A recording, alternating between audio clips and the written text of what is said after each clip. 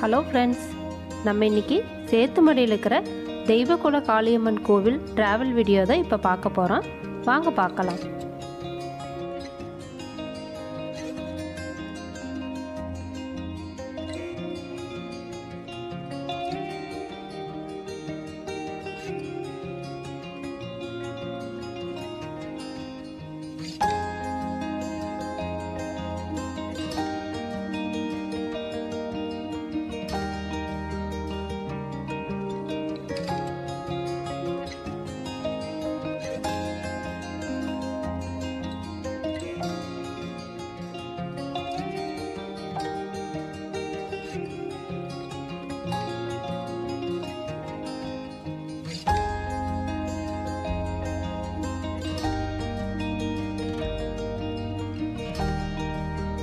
நாங்கள் பொள்ளாச்சி பஸ் ஸ்டாண்ட்லேருந்து சேத்துமடை காளியம்மன் கோயிலுக்கு இப்போ நாங்கள் கிளம்பிட்டோம்.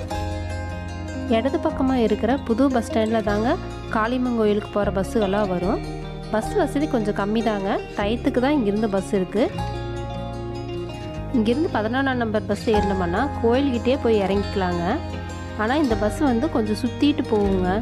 நம்ம சீக்கிரமாக போகணுன்னா முப்பத்தி ஏழாம் நம்பர் பஸ் ஏறினோம்னா சேத்துமடையில் இறங்கி அங்கேருந்து ஒரு ரெண்டு கிலோமீட்டருக்கு உள்ளே போகணுங்க. அங்கேருந்து ஆட்டோ வசதியும் இருக்குது. நம்ம அங்கேருந்து கோயிலுக்கு போயிக்கலாம் வலது பக்கமாக இருக்கிறது அண்ணா பேருந்து நிலையங்க. இது வந்து கிணத்துக்கடவு நெகமம் போகிற பஸ்ஸுகள்லாம் இந்த பஸ் ஸ்டாப்பில் நிற்கும் இந்த வழியாக தாங்க காளியம்மன் கோயிலுக்கு போகணும். இங்கிருந்து ஒரு இருபத்தஞ்சு கிலோமீட்டர் இருக்குங்க.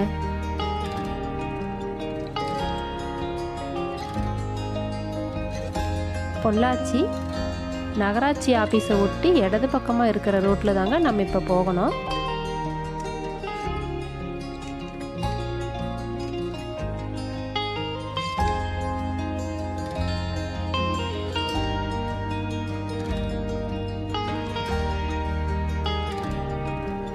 இப்போ மறுபடியும் இடது பக்கமாக திரும்பணுங்க.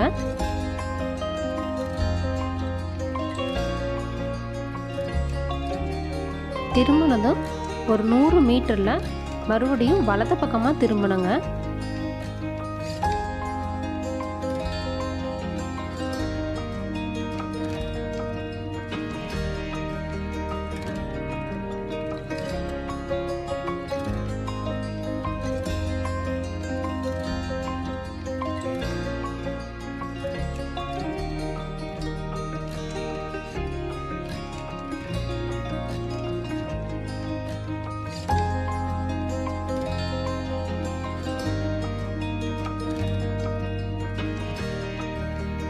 இந்த இடத்த பொள்ளாச்சி சந்தைப்பேட்டைன்னு சொல்லுவாங்க.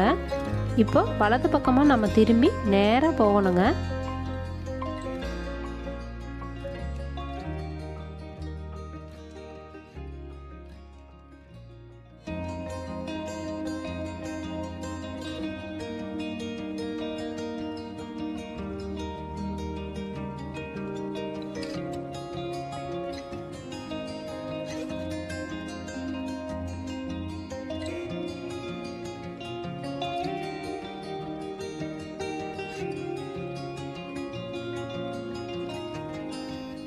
நம்ம இப்போ சுங்கம் பஸ் ஸ்டாப் வந்துட்டோங்க.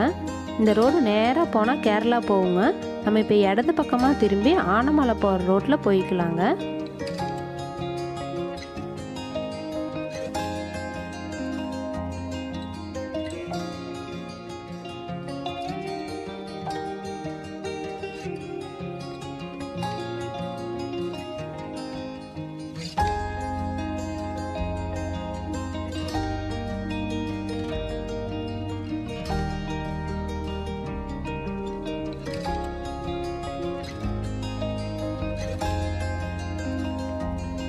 நம்ம இப்போ ஆனமலை பஸ் ஸ்டாப் கிட்ட வந்துட்டோங்க. இடது பக்கமாக போனால் திருமூர்த்தி மலை ஆலியார் போகலாங்க நம்ம இப்போ வலது பக்கமாக திரும்பி சேத்துமாடை போகிற வழியில் போகலாம் நம்ம மாசாணியம்மன் கோயிலை தாண்டி தாங்க நம்ம இப்போ சேத்துமடைக்கு போகணும். நீங்கள் மாசாணியம்மன் கோயிலில் போய் சாமி கும்பிட்டு அந்த கோயிலுக்கு போகிறதுனாலும் நீங்கள் போகலாம் இப்போ சேத்துமடை கோயிலில் ஹோட்டல்களாம் அதிகமாக இருக்காதுங்க. அதனால நீங்கள் இங்கே ஆனமலையிலேயே நல்ல ஹோட்டலாக பார்த்து நீங்கள் சாப்பிட்டு போய்க்கலாம். உங்களுக்கு ஸ்நாக்ஸ் அந்த மாதிரி தேவைனாலும் கூட நீங்கள் இங்கேருந்து வாங்கிட்டு போய்க்கோங்க.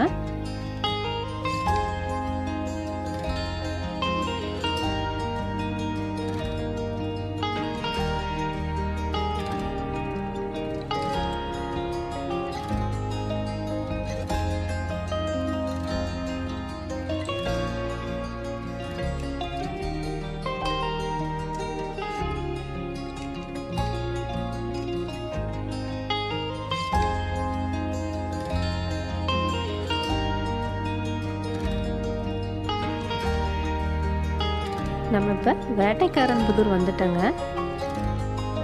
இங்கே ரோட்டோரமாக நிறைய ரோஜா பூச்செடி வித்துட்டு இருந்தாங்க. பார்க்கவே ரொம்ப அழகாக இருக்குங்க. நானும் வீட்டுக்கு ரெண்டு பூச்செடி வாங்கிட்டேங்க. இப்போ நம்ம கோயிலுக்கு கிளம்பலாம்.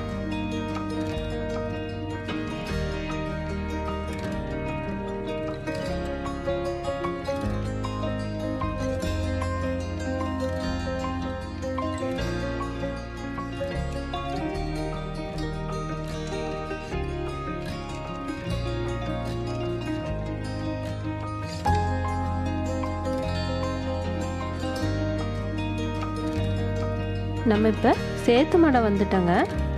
காளியம்மன் கோயிலுக்கு போகிறதுக்கு இடது பக்கமாக திரும்பி இப்போ போகணுங்க.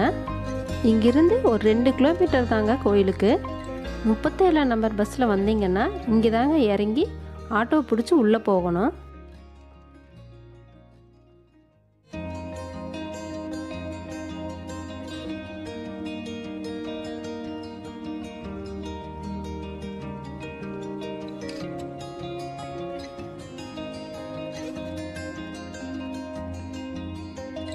நம்ம இப்போ காளியம்மன் கோயில்கிட்ட வந்துட்டோங்க. இங்கே கடைகள்லாம் நிறைய இருக்குங்க. பூஜைக்கு தேவையான பொருளெல்லாம் நம்ம இந்த கடையிலேயே வாங்கிக்கலாம். நம்ம இப்போ தெய்வக்குல காளியம்மன் கோயிலுக்கு நம்ம வந்துட்டோங்க.